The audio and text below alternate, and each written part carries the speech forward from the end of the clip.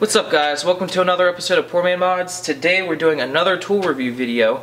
After our first tool review video with J&B Tool Sales, I was on their website again and I found these Channellock screwdriver sets. Um, now this isn't just a regular screwdriver set, it's actually got these metal caps on it um, to give it a lot more strength. So I asked them if I could do a review video on this set and of course they said yes. So uh, I'm going to unbox this or I should say I'm going to rip apart this plastic and we'll talk about these screwdrivers and compare them to the other ones that I have. And uh, hopefully you enjoy this one and hopefully these turn out to be as awesome as I'm thinking they might be.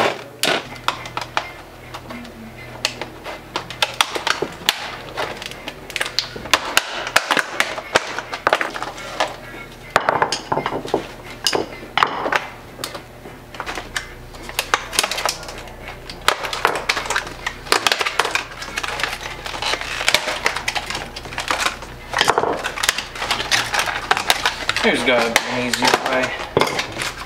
There probably was, but I'm just too stupid to figure it out.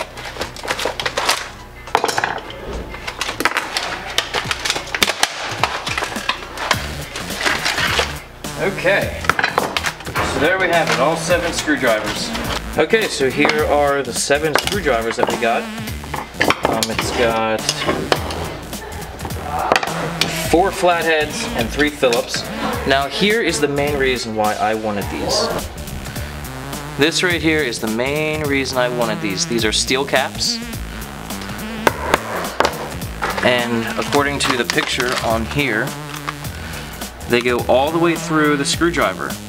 Now, on the back of here, it says, do not use screwdriver as chisel set or pry bar. Now, we all know that a lot of us use flathead screwdrivers for almost everything that they're not made to be used for. Um, so, a lot of screwdrivers, like like these that I have, here's a Matco and a Craftsman, and a Harbor Freight one, these do not have steel caps on them. So when you hit these with a hammer, they could possibly chip or break, um, or just not put all the energy all the way through. So with these steel caps, it's literally steel all the way through to the very tip of here.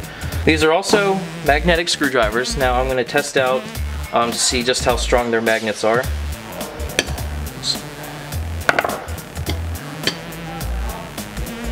So that's pretty good.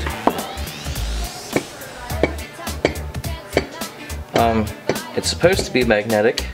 I can feel it sticking, but it doesn't want to lift up the screwdriver. This is a Harbor Freight one. Um, it's magnetic, but it's not lifting up the screwdriver. And here's a Craftsman, it's not magnetic. No magnet at all. I'm not comparing these screwdrivers necessarily to their exact competitor. I am just comparing them to the ones that I have, which is a Harbor Freight, Matco, and a Craftsman one. And as you just saw, this one obviously has the much better magnet on it, which is awesome because I hate dropping screws and bolts. It's really, really, really annoying. Um, another thing that they advertise for these is that um, the three-sided grip is actually pretty big. So I'm going to compare the different sizes. All three of these have the same size screwdriver tip. So it should be a fair comparison of size. So here we have my caliper. I'm going to measure the diameter of this. Point 0.68 of an inch.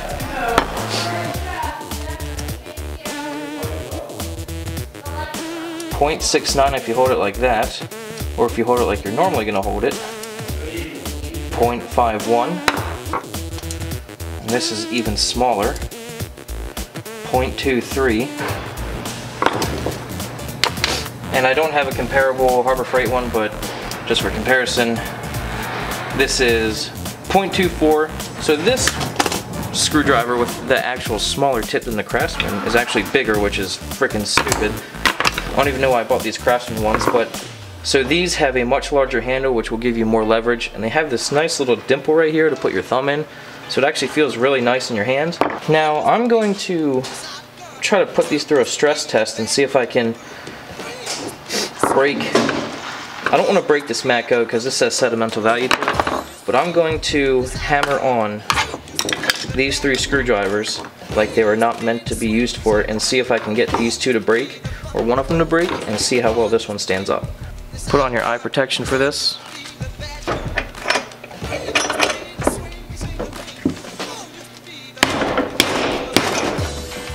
Okay, so the Harbor Freight one did not last too long.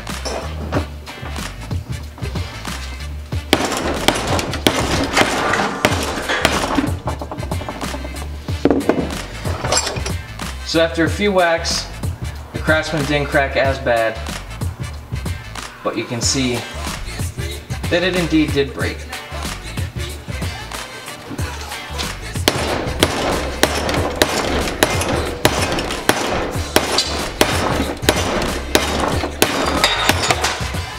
and it went flying across the room. That is why you wear safety glasses. But as you can see, it's intact. Very much intact. No cracks. A little bit of the plastic came off down here because it was grooving into the vise, but no cracks. Okay, so I think that was a pretty good test. Now, like I said, I wasn't comparing these to their actual competitors. I was just comparing them to the screwdrivers that I had.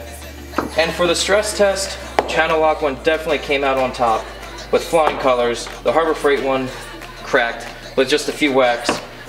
This one didn't crack nearly as bad, but it's dented and it has some fractures to it. But this one came out flawlessly.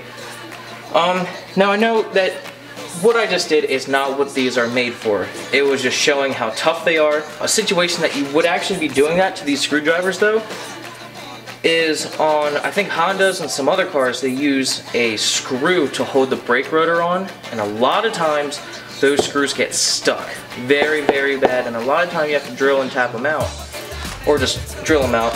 But what you can do with these, since they have a metal cap on it, you can put this on the screw, and if you hit it, it'll break up the rust, and it can make it come out a lot easier. Now that's why I really like these. These are Phillips, and a lot of Phillips that I've had on the Supra, um, on the coil packs that they are rusted in. If I had these when I did that, instead of having to drill them out, you just set them on and you hit it, and it will break the rust loose and make it come off a lot easier.